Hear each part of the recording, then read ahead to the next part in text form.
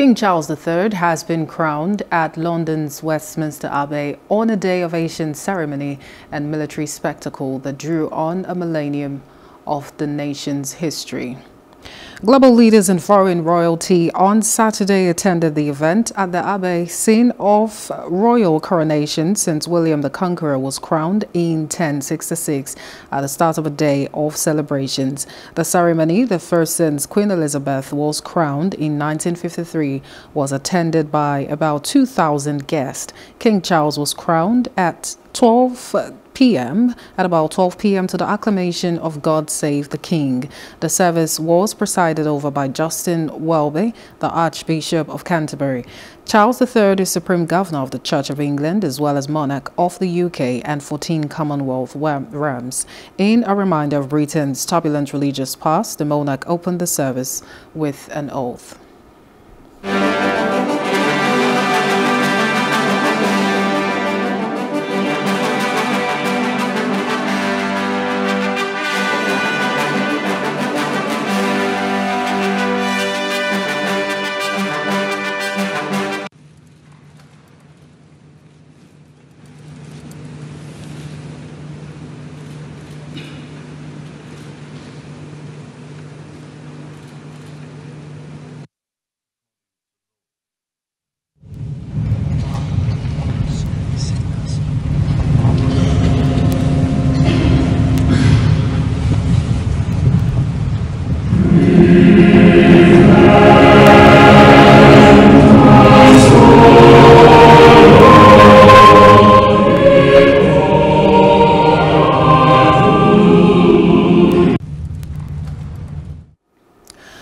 Charles III's wife Camilla was crowned in Westminster Abbey, capping her public evolution from royal mistress to queen consort to queen in her own right.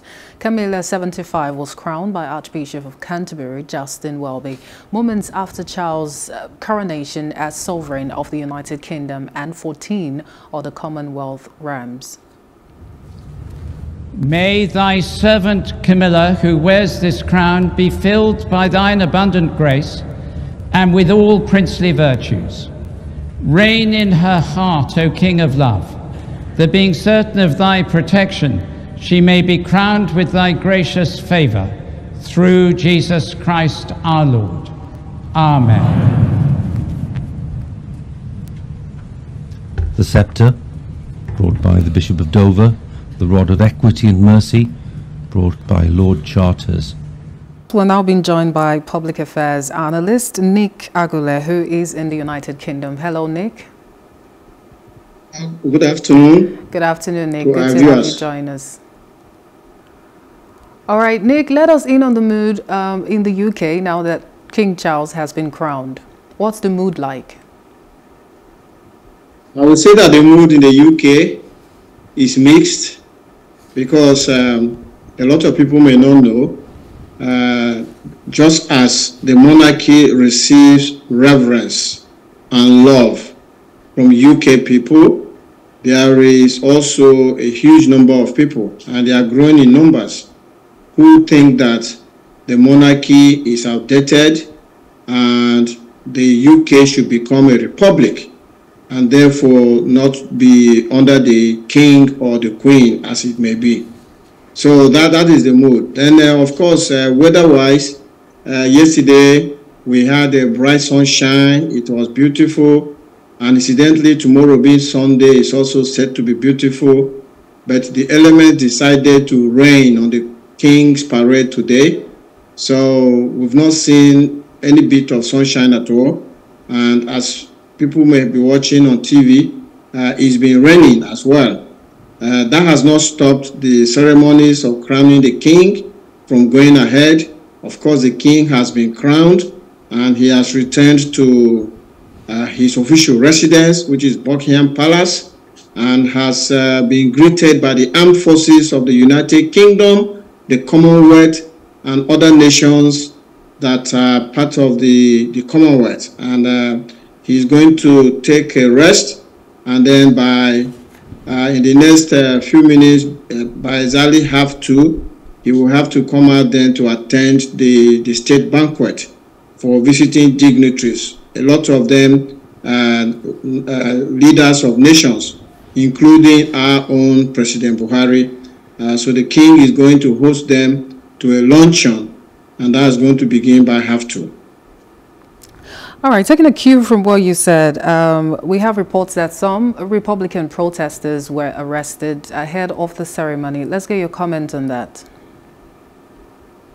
Yes, so um, the police forces in the UK prepare for and expect that there will be disruption coming from Republicans.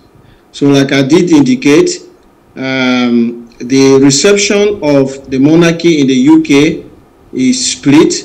Even though majority are still uh, for the monarchy, there is a growing number who are Republicans who believe that this kingdom should become a republic and um, there should no longer be a monarchy or even if uh, the royal family want to be in existence, the king or the queen, as it may be, should not be the head of state because the king is the head of state of the United Kingdom, while the prime minister is a head of government.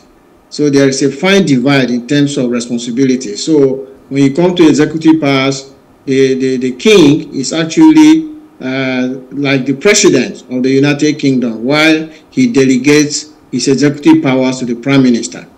Uh, so there are a lot of people who are against that, and, and, and yours, yours truly I think I'm part of all that because I don't think that in the 21st century, uh, where we are now in the age of uh, computers, artificial intelligence, we have landed people on the moon and all of that, that uh, a particular family should be the one that once a child is born in that family, then everything is for them, right. regardless of whether they work hard or not for.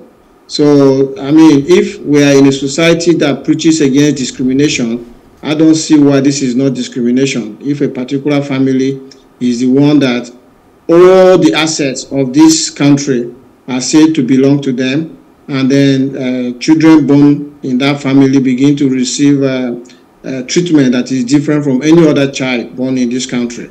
But anyway, that is what it is. So, uh, however, everybody is giving room to say what they want and also to come out with their protest.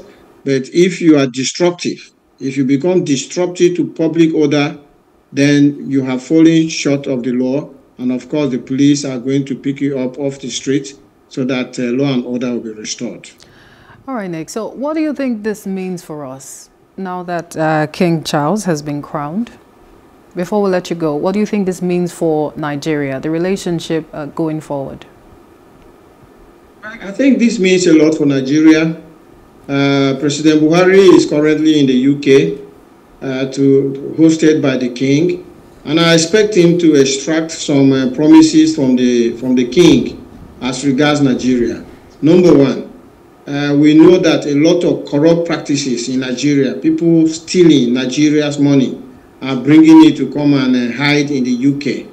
Uh, I expect President Buhari to speak directly to the King and say, well, I have few days left in office, but even if I'm no longer in office, give your cooperation to whoever succeeds me and try and get the prime minister, who is your head of government, to put a stop to people who have access to Nigeria's public finances and are stealing it and bringing it here in the UK. And then, of course, I expect uh, President Buhari to get some commitments from the king with respect to things like uh, military support and all of that because you see the Nigerian military is so stretched fighting all sorts of insurgencies all over the country. Uh, by the time the president took over government in 2015 uh, northeast was the boiling point.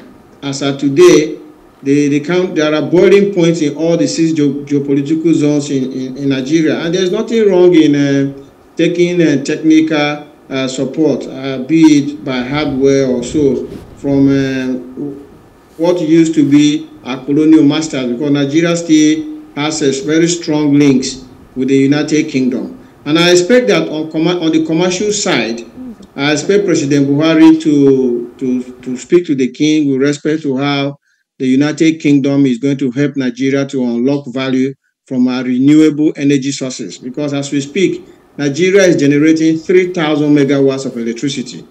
And the electricity that uh, President Buhari is enjoying here in London today right. is 730,000 megawatts. The United Kingdom generates 730,000 megawatts. Yes, and Nigeria is just generating three. Just imagine the electricity deficit that we have. All right, Nick. And of course, I will, I will expect uh, President Buhari to also uh, speak to um, uh, King Charles as regards uh, commercial flights between Nigeria and the United Kingdom. As we speak today, it is only British Airways, one single airline that is flying direct flights from Nigeria's capital of Abuja to United Kingdom's capital of London. One airline.